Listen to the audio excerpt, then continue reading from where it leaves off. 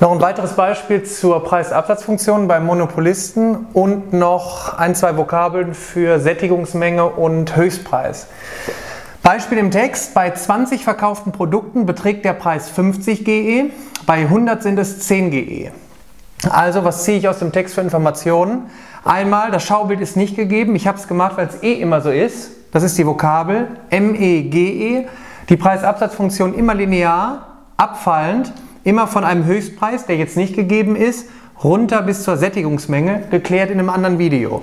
Gegeben sind jetzt bei 20 verkauften Produkten, 20 muss ME sein, beträgt der Preis 50, der Verkaufspreis. Also haben wir 20 ME und 50 GE. Also der erste Punkt ist 20-50. Immer XY oder MEGE. Nächste Information, bei 100 sind es 10 Geldeinheiten, also 100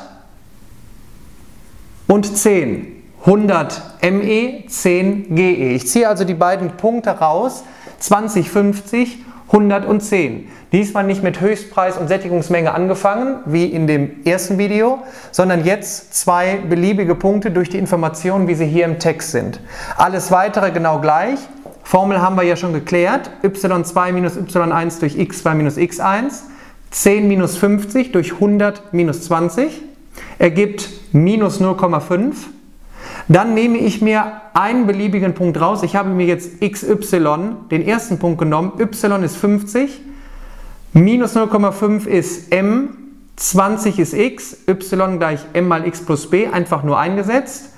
Minus 0,5 mal 20 ist minus 10 plus 10 rübergebracht, wegen minus 10 plus b plus 10 rüber, 60 gleich b, also ergibt sich die Preisabsatzfunktion minus 0,5 x plus 60.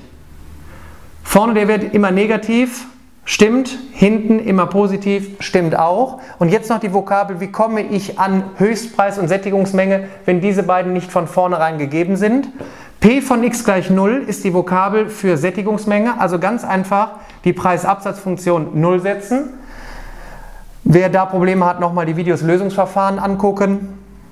Entsprechend minus 0,5x plus 60 gelöst ergibt 120. Also hätten wir bei 120 die Sättigungsmenge. Der Höchstpreis ist die Vokabel, entweder lese ich in E hinten schon ab oder nochmal Fürs Verständnis 0 einsetzen, also bei 0 ME wird der Höchstpreis erreicht. Wenn ich 0 einsetze, kommt hier in dem Fall 60 raus. Y gleich 60 wäre mein Höchstpreis.